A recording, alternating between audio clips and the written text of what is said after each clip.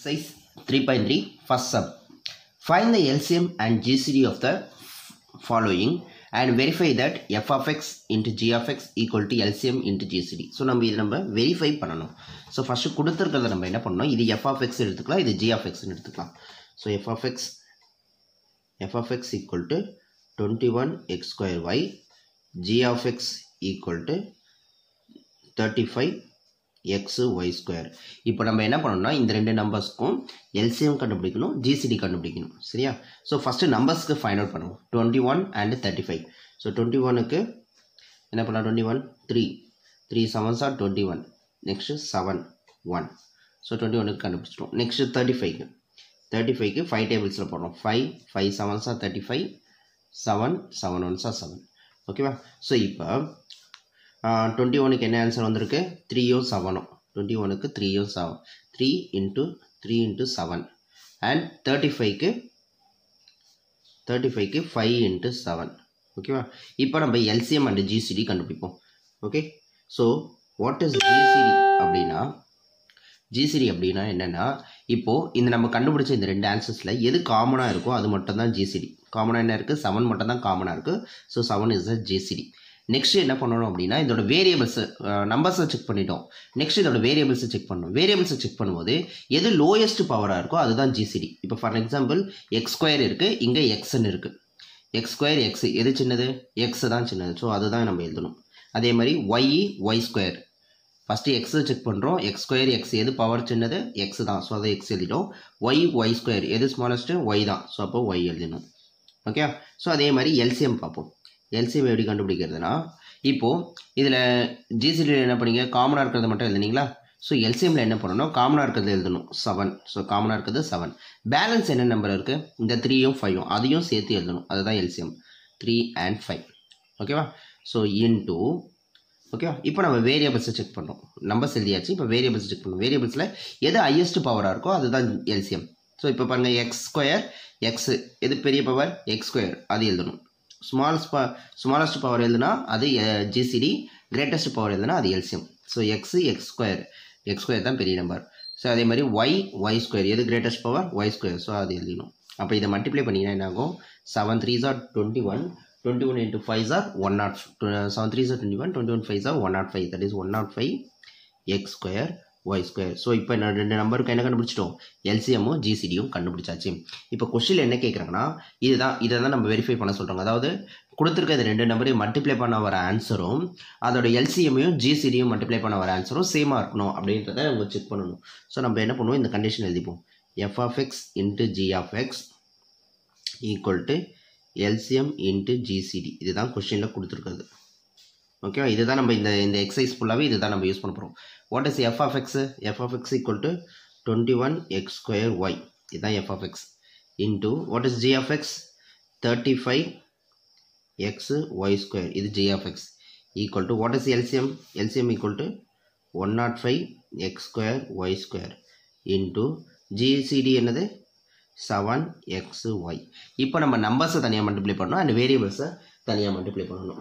ஓகேவா so numbers தனியாக variables தனியாக மல்டிப்ளை பண்ணிங்கன்னா ஆன்சர் வந்துடும் okay so first one not five into seven are one not five into seven seven five are thirty five five three seven one are seven seven thirty five வருதா so நீங்கள் பார்த்தீங்கன்னா இப்போ twenty ஒன்னையும் twenty ஒன்னையும் thirty five இந்த numbers மட்டும் multiply பண்ணுங்கள் twenty one into thirty five twenty one into thirty five multiply பண்ணிங்கன்னா செவன் தேர்ட்டி ஃபைவ்னு வரும். Okay twenty one into thirty five seven thirty five இப்போ வேரியபிள்ஸை மல்டிப்ளை பண்ணலாம். இங்கே எக்ஸ் ஸ்கொயர் இருக்குது இங்கே ஒரு எக்ஸ் இருக்குது அப்போ x square into x x power three அதே மாதிரி இங்கே ஒய் இருக்குது இங்கே ஒய் ஸ்கொயர் இருக்குது அப்போ ஒய் பவர் த்ரீ முடிஞ்சிச்சா?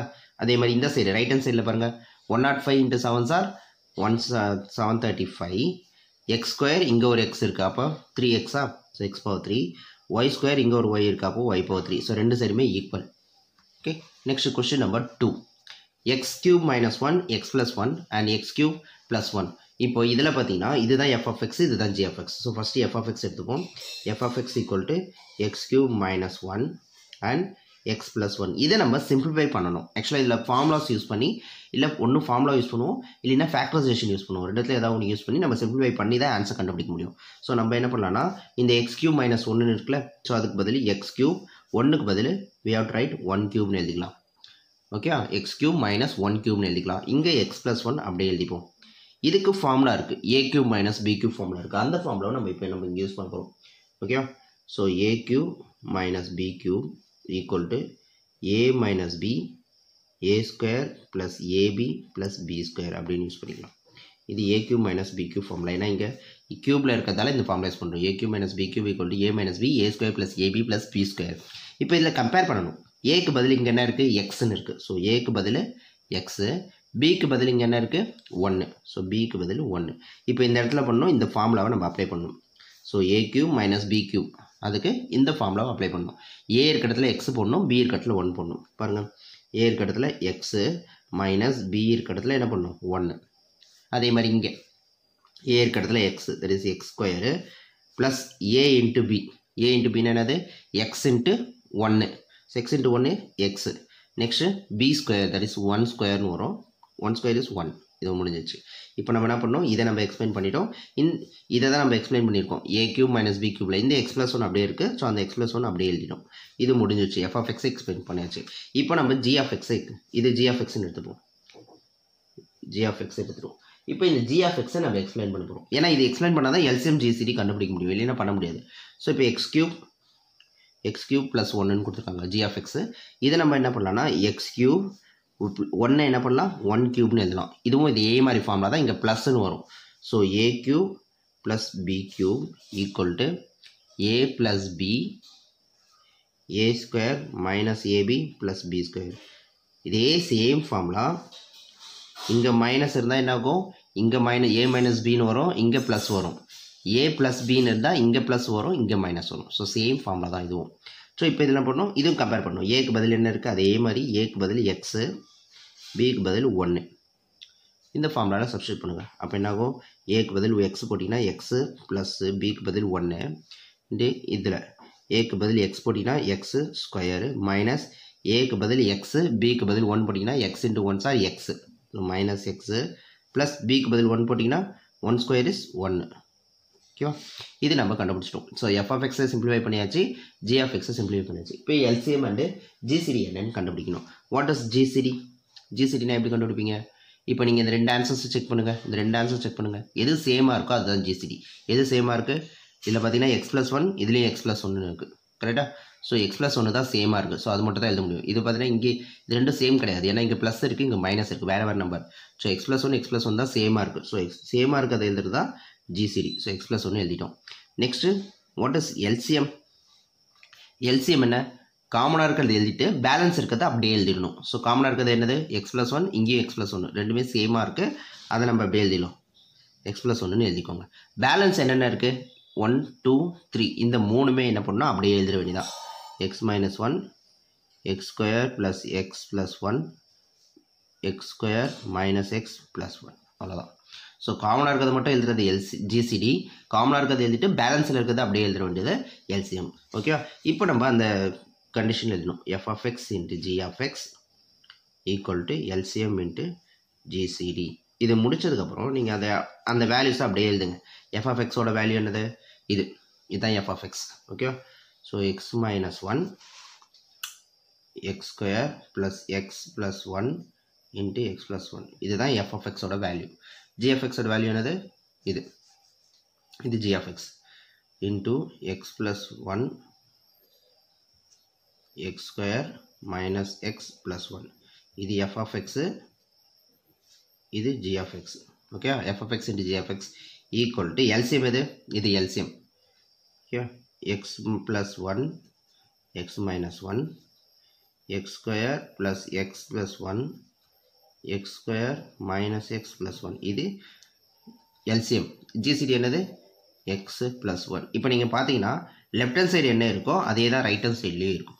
இதுலேயே இது பாருங்கள் x minus one x plus one okay ரெண்டு எக்ஸ் ப்ளஸ் ஒன்று இருக்குது இதுலேயும் பார்த்தீங்கன்னா ஒரு எக்ஸ் ப்ளஸ் ஒன் இது ஒரு எக்ஸ் ப்ளஸ் ஒன் ரெண்டு எக்ஸ் ப்ளஸ் ஒன்று இருக்குது எக்ஸ் மைனஸ் ஒன்று இருக்குது ஓகேவா நெக்ஸ்ட் இது இருக்குது இந்த பிளேஸ்லையும் இது இருக்குது ஸோ ரெண்டுமே left hand side right hand side ரெண்டுமே ஈக்குவல் ஸோ இதுக்கு என்ன மீனிங்னா எஃப்எஃப்எக்ஸ் ரெண்டு நம்பர்ஸ் எடுத்து மல்டிப்ளை பண்ண வர ஆன்சரும் அதோட எல்சிஎம்மையும் ஜிசிடியும் கண்டுபிடிச்சி அதை மல்டிப்ளை பண்ண வர ஆன்சரும் ரெண்டுமே என்னவாக இருக்கும்? சேமாக தான் இருக்கும். Next subdivision of three so இதே மாதிரி இதுவும் பார்ப்போம். இப்போ இதில் பண்ணோம் இது எஃப்எஃப்எக்ஸ்னு எடுத்துப்போம்.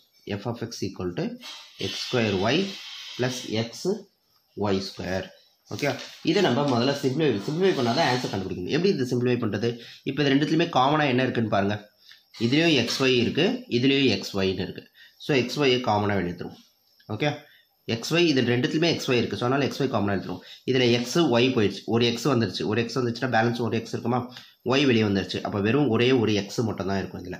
இதில் பார்த்தீங்கன்னா ஒரு எக்ஸ் வெளியே வந்துருச்சு. பேலன்ஸ் ஒரு ஒய் வந்துருச்சு. அப்போ பேலன்ஸ் என்ன இருக்கும்? இன்னொரு ஒய் இருக்கும். என்ன இங்கே ரெண்டு ஒய் இருக்குது இப்போ பேலன்ஸு இன்னொரு ஒய் இருக்கும். இது முடிஞ்சு போச்சு. நெக்ஸ்ட் என்ன பண்ண போகிறோம் நெக்ஸ்ட்டு இதே எடுத்துப்போம். ஜி ஆஃப் எக்ஸ்னு g of x equal to x square plus x y இப்போ இது ரெண்டுத்துலேயும் காமனாக என்ன இருக்குது பாருங்கள் எக்ஸ் தான் இருக்குது எக்ஸ் மட்டும் தான் காமனாக இருக்குது ஸோ இப்போ எக்ஸை வெளியே எடுத்துனா இதில் ரெண்டு எக்ஸில் ஒரு எக்ஸ் வெளியே எடுத்துச்சுன்னா பேலன்ஸ் என்ன இருக்கும்? ஒரு எக்ஸ் இருக்கும். இதில் ஒரு எக்ஸ் வெளியே எடுத்துச்சுன்னா பேலன்ஸ் என்ன இருக்கும்? ஒய் இருக்கும். இப்போ அவ்வளோதான் முடிஞ்சிச்சு. இப்போ ஜிசிடி கண்டுபிடிப்போம். ஜிசிடினா என்ன? ரெண்டுத்துலையுமே சேமாக இருக்குது ரெண்டுத்துலையுமே எது சேமாக இருக்குது பாருங்கள் எக்ஸ் ரெண்டுத்துலையுமே சேமாக இருக்குது ஸோ இப்போ ஒரு எக்ஸ் போட்டுக்கோங்க. ஓகேவா எக்ஸ் ரெண்டுத்துலையுமே சேமாக இருக்குது சேமாக இருந்தால் ஒரு வாட்டி போட்டால் போதும். எக்ஸ் ப்ளஸ் ஒய் ரெண்டுத்துலையுமே சேமாக இருக்குது அப்போ எக்ஸ் ப்ளஸ் ஒய் ஒரு வாட்டி போடும் இதுதான் ஜிசிடி எல்சிஎம் என்னது? எல்சிஎம் என்னது? காமனாக இருக்கிறத எழுதிடணும் முதல்ல. எக்ஸ் ரெண்டுத்துலையுமே சேமாக இருக்குது ஸோ எக்ஸ் எழுதிடணும். ஒய் ரெண்டுத்துலையுமே சேமாக இருக்குது எக்ஸ் ப்ளஸ் ஒய் எழுதிடணும். பேலன்ஸ் என்ன இருக்குது வெறும் ஒய் மட்டும் தனியாக இருக்குல்ல? அந்த ஒய்யும் நம்ம பண்ணணும் சேர்த்து எழுதணும் அதுதான் எல்சிஎம் இப்போது condition f of x into g of x of x equal to LCM into GCD இந்த கண்டிஷன் எழுதிட்டு what is f of x f of x கண்டுபிடிச்ச answer x y x plus y தான் f of x ஓகேவா into what is g of x x into x plus y இது g of x equal to what is LCM LCM இது. X into x plus y into y into what is GCD x into x plus y எல்லாத்தையுமே எழுதிட்டோம். இப்போ நீங்கள் சும்மா multiply பண்ணுங்கள் x into x x square வருமா? X into x x square அப்புறம் அந்த ஒய் அப்படியே எழுதிக்கோங்க. எக்ஸ் ப்ளஸ் ஒய் இங்கே ஒரு எக்ஸ் ப்ளஸ் ஒய் அப்போ என்னாகும் எக்ஸ் ப்ளஸ் ஒய் ஹோல் ஸ்கொயர்னு வரும்.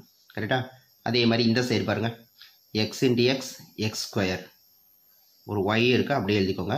எக்ஸ் ப்ளஸ் ஒய் இங்கே ஒரு எக்ஸ் ப்ளஸ் ஒய் அப்போ x plus y whole square left hand side right hand side ரெண்டுமே ஈக்குவல்